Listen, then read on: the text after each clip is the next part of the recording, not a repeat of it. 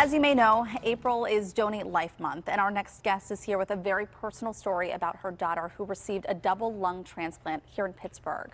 Yeah, I was able to interview that remarkable young woman, Mallory Smith, while she was here in Pittsburgh after months on the transplant list. Now, unfortunately, she lived only two months after the operation. Mallory wrote about her journey as a cystic fibrosis patient and her quest to, quote, live happy. And now her mother has finished Mallory's memoir and the book, Salt in My Soul An Unfinished Life, is getting great reviews coast to coast and could become a movie.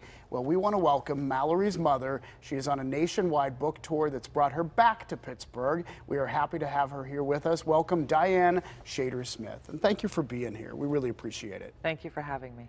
I have to imagine that finishing her memoir was. Um, maybe comforting in some respects, but that had to have been very hard to do. I didn't actually finish it. She left 2,500 pages, and what I did was edit it down to okay. 300 because nobody would want to read that many pages. And it was both bittersweet mm -hmm. because it's just tragic that she's not here to see what she's done, but also unbelievably rewarding because she was an amazing writer, which is why the reviews are so good. Mm. I remember when I had the opportunity to interview her, and she talked about how she wanted to study journalism. She talked about the message that she wanted to tell people. This, this is really something that you're taking on to carry out her dream, right?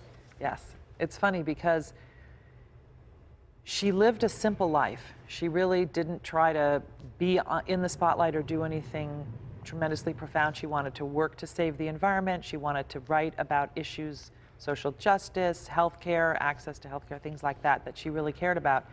But she didn't think that she had something so powerful. And the reason I say that is because right after her transplant, when we thought she was going to make it, because initially it looked really promising, I said, Do you want me to try to find you an agent so you can tell your story, which everybody had been asking her to do because of her great writing?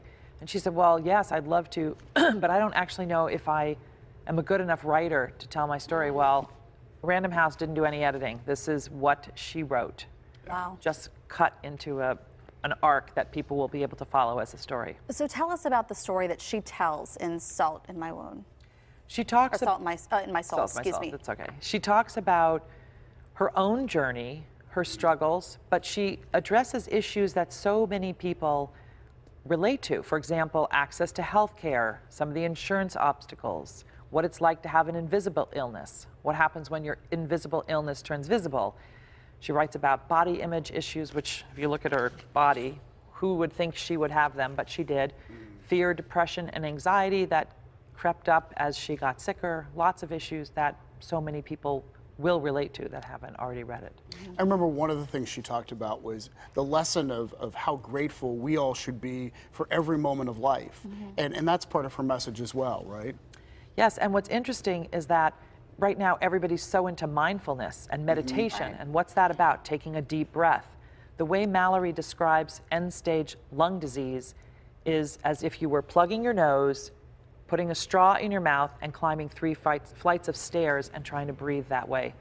So I'm very conscious every day when I breathe, when I do meditation tapes to be grateful for what I have and try to honor her life and how hard she struggled just to take a breath every day. Uh, so we mentioned this possibly becoming a movie.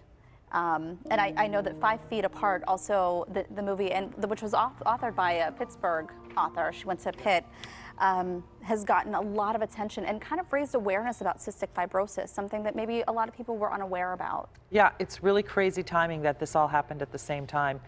I, it was not planned, but I think what's happened is that as more and more people with cystic fibrosis have become active on social media and with, in Mallory's case, blogging and writing, some people do photography, and I think there's a growing desire on the part of people who really struggle with these disease to share what it's like. Mallory chose to live happy and she didn't want to burden anybody, but her struggle was real and very tough.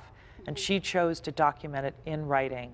And that's what I have chosen to share because I think that's what people need to understand, especially invisible illness, because people have diabetes or they have hearing loss or they have mental problems. So many conditions and illnesses are classified as invisible illness. And she writes really in such a way that it explains what it's like so that people will understand it. But along the way, she has wit, she has wisdom, she's, she's remarkable.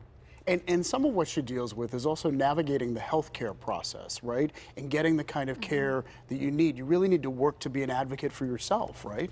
Yeah, we had a huge insurance battle, and she documented it at the time in excruciating detail and wanted to publish it then because she was so upset about what had happened. But I said, no, no, no, we need the insurance company to get through this. And I said, just write it up while it's fresh in your mind and put it aside. And I chose to put that piece in the book, and it's very, very detailed about what happened. And I hope that it helps other people who are struggling understand what you need to do in order to advocate for yourself. Well, you are continuing her mission and have been touring the country with her book. So thank you very much for taking some time to join us this morning. Thank you. I'm sure she's very proud of what you're doing. I feel it right here. Yeah. There you go. Well, you can learn more about Mallory's journey in the book, Salt in My Soul An Unfinished Life, and come hear her mother, Diane, speak at several local events. You can find a full schedule of where to find her at PittsburghTodayLive.com.